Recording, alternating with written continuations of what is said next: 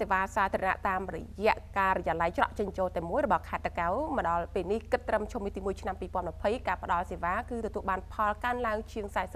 40%លោកខុតប៊ុនធឿនប្រធានអង្គភាពច្រកចេញចូលតែមួយរបស់រដ្ឋបាលខេត្តតាកែវបានប្រាប់ BTV ថា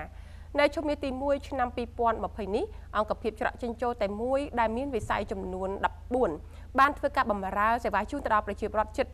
18000សេវា និងទទួលបានចំណូល ជាង1000លានរៀលធៀបទៅនឹងរយៈពេលដូចគ្នាក្នុងឆ្នាំមុនទាំងចំនួនសេវានិងចំណូលគឺកើនឡើងជាង40%ហើយចំណូលដែលទទួលបានច្រើនជាងគេគឺទទួលបានពីវិស័យរៀបចំដែនដីវិស័យការងារនិងបណ្ដុះបណ្ដាលវិជ្ជាជីវៈលោកបន្តថាមានការការដែលមានកំណើននេះគឺបណ្ដាលមកពីជំនឿទុកចិត្តពីប្រជាពលរដ្ឋ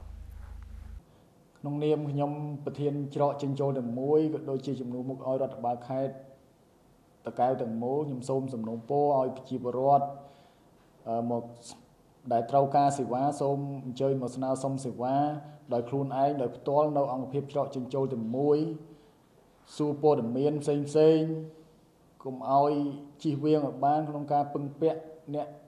រត់សេវាជំនួសឬមួយកជួលគេឲ្យរត់សេវាជំនួសពីព្រោះយើងចំណាយថវិកាអស់ច្រើនហើយយើងមិនបានច្បាស់ យើងមិនបានដឹងអំពីមុខសេវាណាដែលត្រូវចំណាយអស់ប្រមាណត្រូវចាយលុយអស់ប្រមាណហើយទី2ទៀតសេវាសេវាយើងមានការយឺតយ៉ាវដោយសារការដោយសារគាត់អ្នករត់ជំនួសនោះមិនយកសេវារបស់យើងទៅធ្វើដូចកន្លងមកមុននឹងបើកអង្គភាពច្រកចិញ្ចូលតែមួយសេវាដែលស្ទះនៅមន្ទីរមួយចំនួនជាងចូលពាន់សេវាកន្លងមកជាបទពិសោធន៍ អញ្ចឹងសូមរំពរបងប្អូនជាបរដ្ឋមកស្នើសុំសេវាដោយខ្លួនឯងដោយផ្ទាល់ដើម្បីយល់ដឹងច្បាស់អំពីសេវារបស់ខ្លួនបាទសូមអរគុណលោកខុតបន្ទឿនបានអំពាវនាវដល់ប្រជាពលរដ្ឋដែលត្រូវការសេវាផ្សេងផ្សេងឲ្យទៅរកសេវានៅអង្គភាពច្រកចិញ្ចោតែមួយរបស់រដ្ឋបាលខេត្តឬតាមបណ្ដាស្រុកមួយចំនួនដោយជៀសវាងពីការពឹងអ្នករត់ការជំនួសដែលនាំឲ្យមានការយកតម្លៃសេវាលើសពីតម្លៃរដ្ឋបាលកំណត់និងការមានការយឺតយ៉ាវថែមទៀតនោះ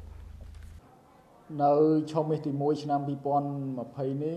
អង្គភាពច្រកចិញ្ចោតែមួយរដ្ឋបាលខេត្តតកែវបានទទួលសេវាចំនួន17985មុខសេវា ដោយគិតជាសាច់ប្រាក់ស្មើនឹង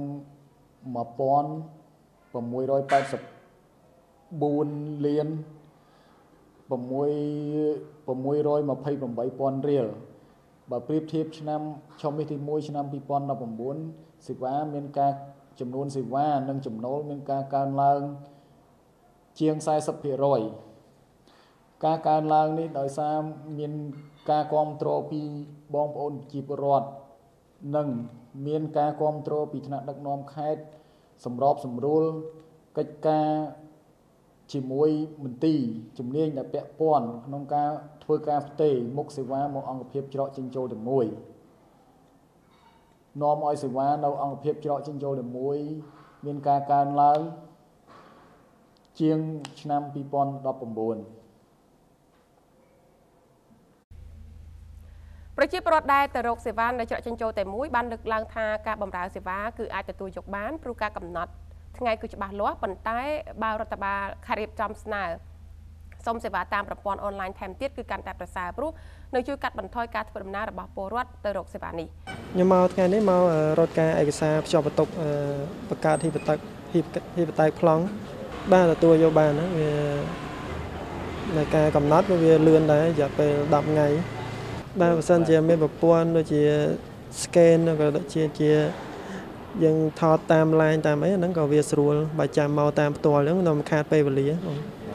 បន្ទាប់ពីរដ្ឋាភិបាលបានដាក់ឲ្យដំណើរការនៅអង្គភាពច្រកចិញ្ចោតែមួយរបស់រដ្ឋបាលខេត្តក្រុងរយៈពេល2ឆ្នាំកន្លងមកចំនួនប្រជាពលរដ្ឋដែលទៅរកសេវាផ្សេងផ្សេងរបស់រដ្ឋមានការកើនឡើងជាលំដាប់ហើយចំណូលដែលបានពីអង្គភាពច្រកចិញ្ចោតែមួយនេះក៏កើនឡើងខ្លាំងផងដែរពិសេសកាត់បន្ថយអំពើពុករលួយតាមរយៈការរត់ការពីក្រមមន្ត្រីខលខូចមួយចំនួនតូចនោះ។